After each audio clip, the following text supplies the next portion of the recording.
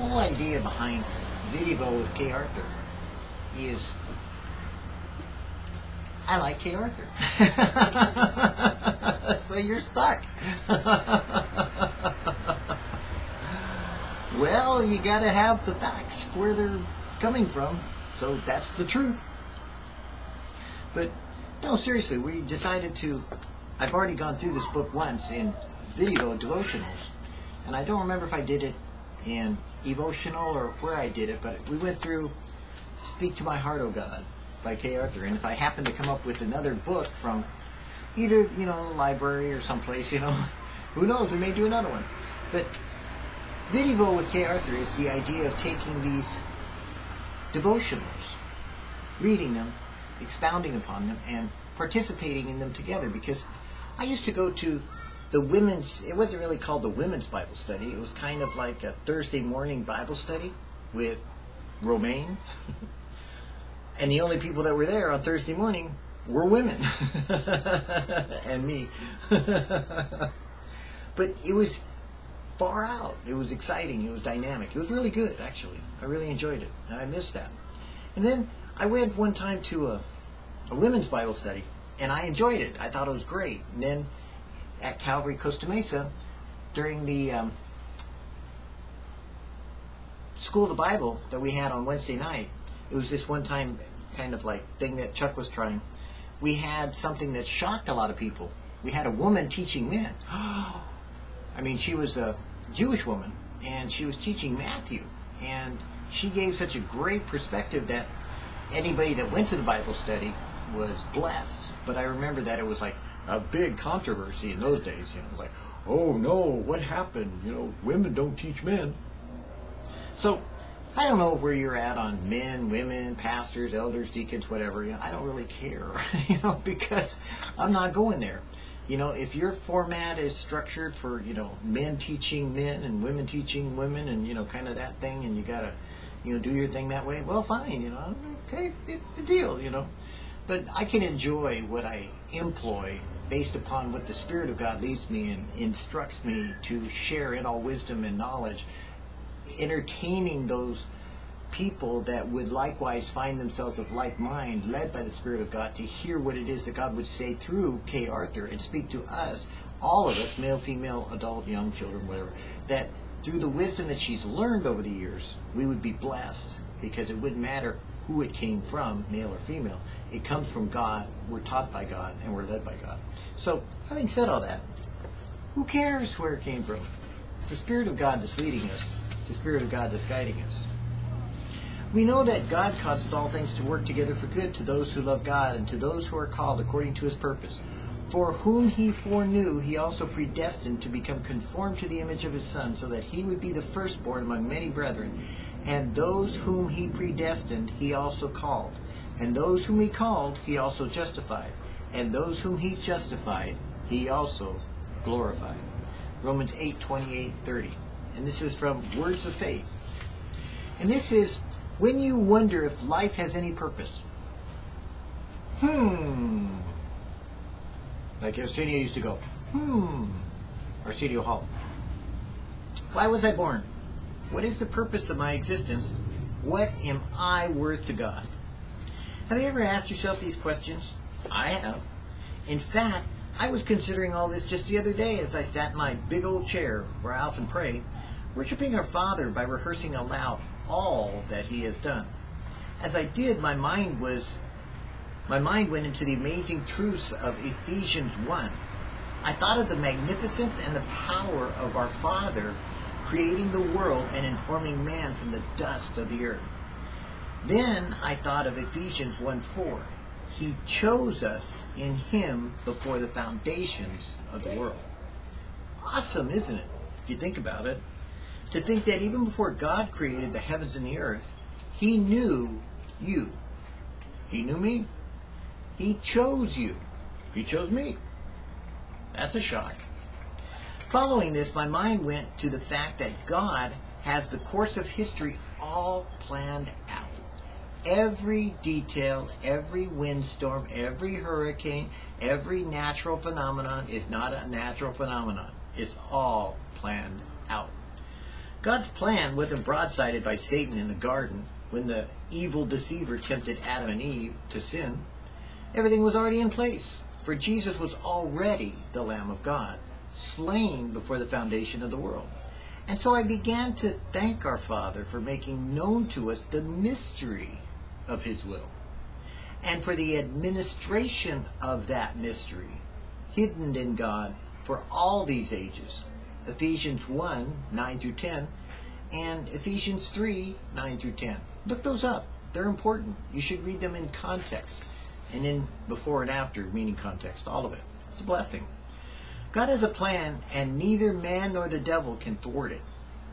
Then my mind went on to Ephesians 2.10, where he tells us that before the foundation of the world, our Father prepared the good work that we are to walk in. Talk about understanding our worth. Talk about knowing what our lives have a purpose. Do you know this truth, my friend? Are you living in the light of it? Are you aware that God has the plan? He doesn't just have the whole world in his hands. He's got the whole world in his plan. He's got the whole world in his plan. He's got the whole wide world in his plan. He's got the whole world in his plan. He's got the whole world in his plan. Yeah, you and me. He's got you and me, baby, in his plan. you know, we're in his plan. Do you realize how absolutely precious you are to God? Do you realize the significance of your life? It has a purpose, a specific purpose, a purpose God has in mind. As Ephesians 1:11 says, we live according to his purpose, and his purpose is always the very best. You're not an accident. Oh, you may think so. you may have been told so, but God said no so. I know. I planned it. You are not useless. You may feel useless, you may look useless, you may act useless. But God has a purpose, and because He has a purpose, He has a plan, and because He planned out your purpose, He has a purpose and a plan, and that makes you useful. you are not worthless, you are not unredeemable. Your worth and purpose in this life do not depend on who you are, or on what you have done, or on what has been done to you. Your worth and your purpose do not depend on where you've been even if you have been to the very precipice, the edge of hell itself. Your worth and purpose depend on God and God alone. His will, His calling, His choosing, His love.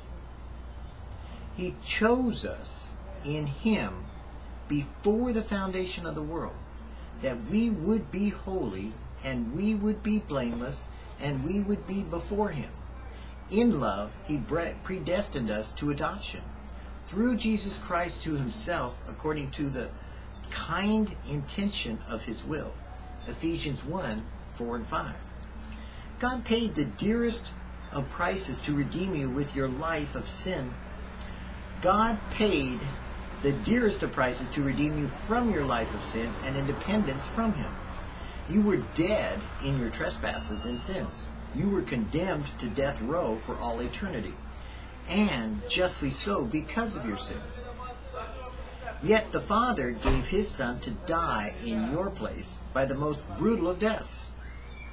He did this when you were still walking your own way, not even realizing the price he was paying. Had you known it, you probably wouldn't even have cared. That's how lost you were.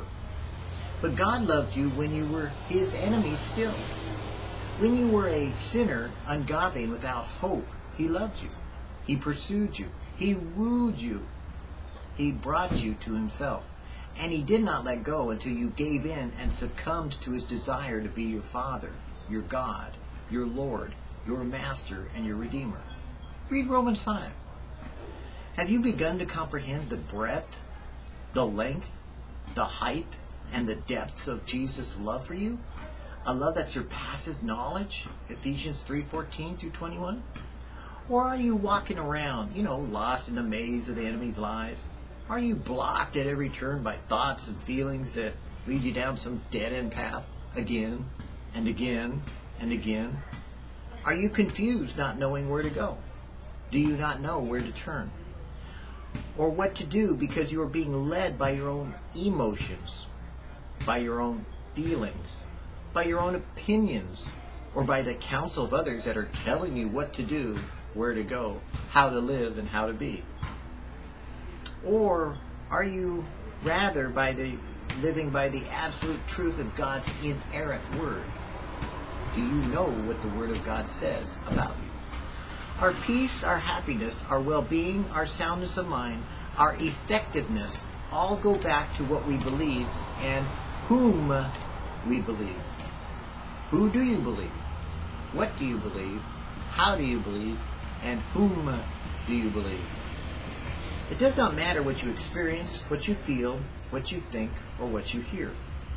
If it does not agree with the Word of God, then it is a lie, and it has its origins with the great deceiver and the father of lies. John 8:44. Don't miss the knowledge of your worth and your purpose in this life by believing his lies. Choose to believe God, no matter what. Ultimately, it then comes down to this. Where will you put your faith? Who will you put your faith in? What will you put your faith in? In the character of God, in the Word of God, or in a lie? You alone can decide that. It's really up to you. This is the choice God gives you, and no one can decide for you. Everything you are going through, all that you are dealing with, has one ultimate purpose that you may know the love of God and live in the light of His extravagant and more than adequate grace which has been poured out upon you so that you would know him personally. This is what you were born for, an intimate relationship with God himself. That is the purpose of your existence. That is what you are worth to him. That is why he died for you. But this intimate relationship requires two things. First, that you are set aside time so your Heavenly Father can communicate with you through His Word and through His Spirit that he can talk to you, that you can walk with him, that you could listen, and you could understand and know him. Second, that you spend time communicating with him in prayer, being recognizing that he wants to speak with you as much as you want to speak with him. If you want intimacy with God your Father, then you will have to make the time for it. And if you realize that it must be your highest priority, then nothing, absolutely nothing will stop you. When nothing stops you and you put yourself in the position for God to meet with you, you will find that everything else falls into proper perspective because you know his voice when he says, this is the way, walk it. And you will walk in confidence knowing without a shadow of a doubt that you are his workmanship, created in Christ Jesus for good works, which God prepared beforehand so that we would walk in them. Ephesians 2.10 I can think of no better way to say it than the way they said it. And the way she said it is the way it is. So don't be confused, abused, or rused into losing your joy or following some afterwards way that you think you know or understand, but rather take the time today to pray, to walk, talk, live, and exist with God your Father, so that you would learn the right way to walk in and you would not be discouraged. And that rather, instead of